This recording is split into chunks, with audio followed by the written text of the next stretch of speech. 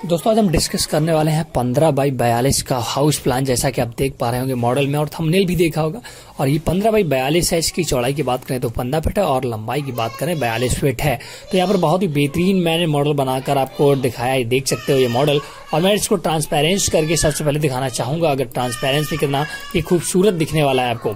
देखिए जैसे मैं इस मॉडल को ट्रांसपेरेंस करता हूँ, थोड़ा और ट्रांसपेरेंस करूँ, थोड़ा कम अभी ट्रांसपेरेंसी है।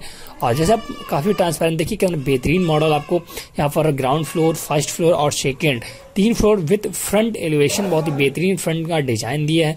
तो आप पूरा डिस्कस करेंगे, आप बस बने रहें वीडियो में लगातार। और मैं ऊपर झाकड़े, दोस्तों, और आप देख रहे हैं अपना चैनल न्यू टेक दोस्तों, मैं आपको दिखाना चाहूँगा, अगर आपने इस चैनल को न्यूटेक नाम के चैनल को सब्सक्राइब नहीं किया तो प्लीज़ सब्सक्राइब ज़रूर कर लें, क्योंकि यहाँ पर आपको latest and updated home design से वीडियो लगातार मिलते रहते हैं। देख सकते हो आप, अठारह बाई पच्चीस, पंद्रह बाई पच्चीस, बारह बाई पच्चीस मतलब बहुत सारे लेटेस्ट जो आपका सुटेबल हो, वो देखकर आप डिज़ाइन पसंद कर सकते हो और बनवा सकते हैं। और अगर आपने अभी तक इसको सब्सक्राइब नहीं किया तो प्लीज़ सब्सक्राइब ज़रूर करें। रेड कलर के बटन पर क्लिक करके और वेल आइकन आता, उस पर भी क्लिक करके उसको सब्सक्राइब कर सकते हैं। तो चलो हाँ आज हम डिस्कस करेंगे, जैसा कि आपको फ्रेंड से आप देख लें, बेहतरीन सा डिज़ाइन है और इसको मैं एक एक ग्राउंड फ्लोर फ़र्स्ट फ्लोर सब डिस्कस करूँगा। तो सबसे पहले मैं डिस्कस करने वाला हूँ आपको आज ग्राउंड फ्लोर और जैसे आप ग्राउंड फ्लोर पे आते हैं तो दोस्तों, ये आपको मीनार सी दो दिख रही होगी, सिर्फ़ डिज़ाइनिंग के लिए। आपको इससे कोई लेना देना नहीं है।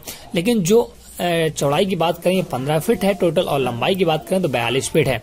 अब जैसे आप एंटर करते हैं ये मेन रोड है तो मैं पहले आपको पार्टीशन समझा देता हूँ, ठीक है? लगभग की मैं बात कर रहा हूँ एग्जैक्ट आपको मिलेगा इस वेबसाइट पर, इस वेबसाइट का लिंक मैंने डिस्क्रिप्शन में दे दिया small house plan dot com पर। यहाँ पर एग्जैक्ट लोक सॉरी एग्जैक्ट डायमेंशन आपको यहाँ पर मिलती है टू प्लान मैंने यहाँ पर डिस्कस कर रखा है, और इसका लिंक भी डिस्क्रिप्शन में है, आप सब कुछ यहाँ पर एग्जैक्ट चीज़ें देख सकती है, कितने बाई कितने का रूम है। लेकिन यहाँ पर इस प्लान की बात करूँ, मैं अप्रॉक्स में आपको सब कुछ बताने वाला हूँ। यहाँ पर बयालीस फीट है तो मैंने दस दस के पोर्सन में चार को डिवाइड कर दिया और दो फीट में अप्रॉक्स दिवाले बन जाएँगे।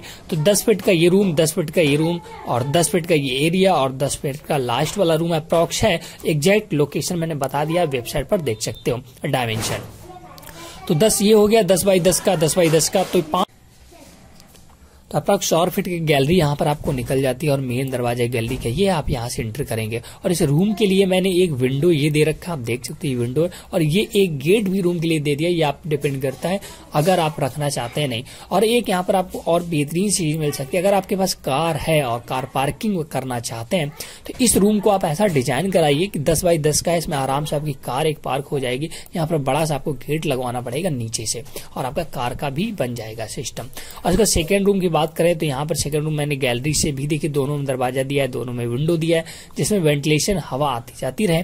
और इस रूम के लिए मैंने यहाँ पर इस वाले एरिया से भी एक विंडो दे रखा है। जैसे आप यहाँ से आते गैलरी से तो आपको यहाँ पर मिल जाता है ये एरिया और इस एरिया पे मैंने आपको एल साइज़ का स्टेयर्स दिया है और स्टेयर्स के नीचे लेटरिंग और साइड में आपका बाथरूम ये आपको देख पा रहे हो जिसमें रेड कलर का गेट लगा है। और लास्ट वाले पोर्शन की बात करें तो एक रूम है। इस रूम को मैंने थोड़ा सा डिवाइड कर दिया किचन के लिए। यदि आपके पास स्टार्टिंग में पैसा कम है, आप एक ही फ्लोर बनवा कर रहना चाहते हैं तो आप किचन यहाँ पर एडजस्ट कर सकते हैं। बहुत ही आराम से पाँच बाई दस का ये दोस्तों किचन है, बड़ा सा किचन है। इसका गेट मैंने फ्रंट से दे रखा है और रूम से भी गेट दिया। ये आप पे डिपेंड करता है रूम से आप गेट रखते हैं या नहीं रखते हैं। और एक आपका बेडरूम मिल जाता है। तो ये तो ग्राउंड फ्लोर डिस्कशन हो गया। अब मैं डिस्कस करूँगा आपके साथ दोस्तों फ़र्स्ट फ्लोर और इसकी बात करूँ, अब फ़र्स्ट फ्लोर की जो exact location sorry exact dimension आप देख पाएँगे, वो वेबसाइट पर आपको मिलेगा। जैसा कि आप ये मैंने फ़र्स्ट ग्राउंड फ्लोर डिस्कस किया फ़र्स्ट फ्लोर का एग्जैक्ट डायमेंशन आपको पूरा रूम में कितना बाई कितने का रूम है, सब कुछ आप देख सकते हो ये। और अगर हम फ़र्स्ट फ्लोर की बात करें तो ये आप देख सकते हो। फ़र्स्ट फ्लोर में क्या है दोस्तों, जो मैंने यहाँ पर किचन के लिए एरिया निकाला था, वो हटा दिया है। और लास्ट में जो आपका ये गैलरी वाला चार फुट का एरिया, वो भी यहाँ पे कवर अप हो जाएगा। तो अप्रोक्स आके चौदह बाई दस का आपका एक ये रूम और चौदह बाई दस का ये रूम और ये आपका दस बाई दस का रूम है। ये तीन बेडरूम निकल आते हैं इस फ़र्स्ट फ्लोर में और आपका यहाँ पर लेटरिन बाथरूम आपका जीने के नीचे एडजस्ट हो जाएगा। और मैंने ढाई फीट का अप्रोक्स बालकनी निकाल दिया है कि आप देख सकते हो।